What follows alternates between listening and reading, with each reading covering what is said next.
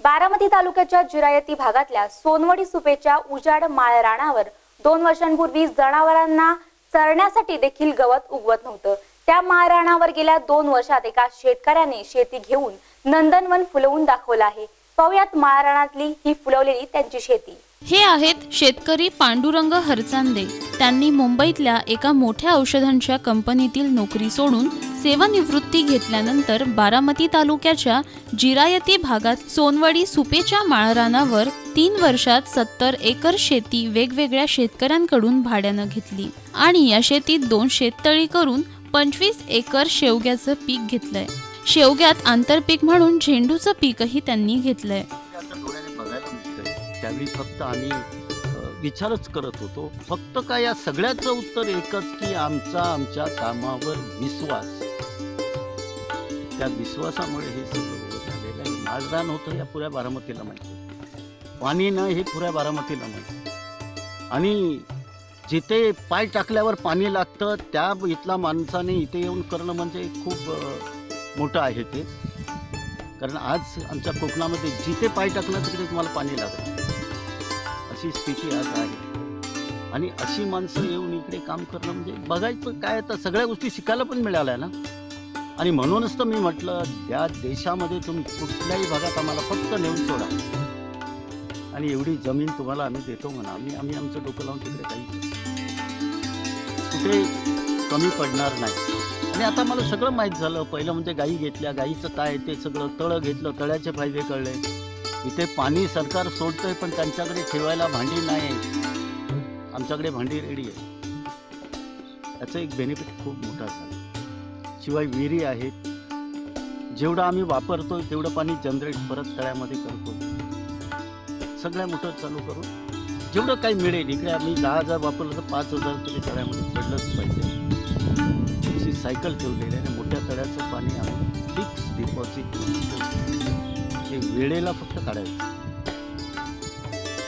नॉर्मलला काढायचं. सध्या त्यांच्या शेतामधला झेंडू फुलला आहे. विशेष म्हणजे पांडुरंग हरचांदे यांनी श्रीजी ॲग्रो नॅचरल फार्म नावाने सुरू केलेल्या या प्रकल्पात सेंद्रिय पद्धतीने शेती पिकवण्यासाठी सोळा देशी गायी घेतल्या आहेत.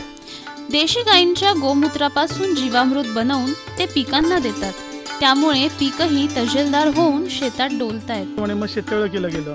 एक सव्वा करोडचं शेतकळ शेततळ एक मोठं शेततळ घेतलं एक छोटं घेतलं. जसं एक फिक्स डिपॉझिटसाठी सव्वा करोडचं तिथे पाणी स्टॉक करून ठेवलेलं होतं. दोन वर्षाचं पाणी साठवून ठेवलं होतं. आणि एक पंचवीस लाख लिटरचं शेततळ आहे जे क सेव्हिंग अकाउंटसारखं म्हणजे जसं लागेल तसं वापरत जायचं. आणि तिथून जेव्हा पाणी संपेल तेव्हा आम्ही फिक्स डिपॉझिटला म्हणजे मोठ्या तळ्याला हात लावतो.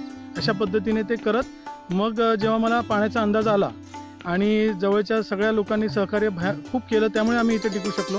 नाहीतर ट्रॅक्टर सकट सगळ्या टाईपची मे जी गरज आहे ती सगळी इकडे लोकांनी पुरवली. सुरुवात म्हणजे संदीप लोणकर म्हणून आहेत ज्यांची जागा आम्ही पहिली घेतली आठ एकर.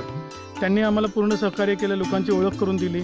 या सगळ्या गोष्टी लेबर म्हणा या सगळ्या गोष्टीचा अभ्यास करण्यासाठी दोन वर्ष पूर्ण गेली आणि जेव्हा मला या सगळ्या गोष्टीचा अभ्यास झाला त्यावेळेला मी एका दमात पंचवीस एकर शेवगा आणि त्याच्यात इंटरक्रॉप झेंडू कलकत्ता व्हरायटीचा झेंडू हा लावला ह्याच्यात एकही पर्सेंट केमिकल वापरलं गेलेलं नाही आहे पूर्ण गाईचं शेण गोमूत्र आपलं जीवामृत दशपर्णी अर्क या बेसिसवर करतो.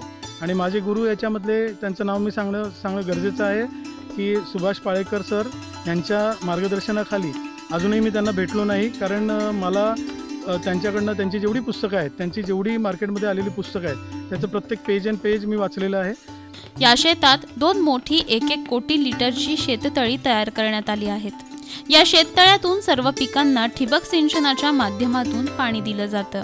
पाण्याचं बाष्पीभवन होऊ नये यासाठी प्लास्टिक मल्चिंग पेपरचा वापर करण्यात आला आहे त्यामुळे माळरान जमीन बागायती होण्यास मदत झाली आहे येणाऱ्या दसरा आणि दिवाळीच्या सणाला हरचांदे यांची झेंडूची फुलं पुणे आणि मुंबईच्या बाजारात जाणार आहेत. तुम्हाला शंभर टक्के मिळत होते ना? दहा हजार रुपये तुम्ही पाण्यासाठी टाका.